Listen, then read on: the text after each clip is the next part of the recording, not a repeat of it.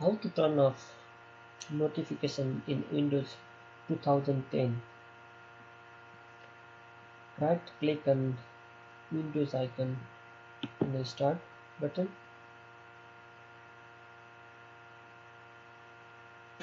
Click on settings. Then choose system and in notifications and actions icon. Now we can choose notification options. If you want to turn off all notifications you can turn off all option or if you need turn on any other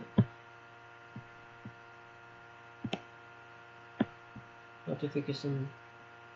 You can choose customize choose based on your choice and based on your requirement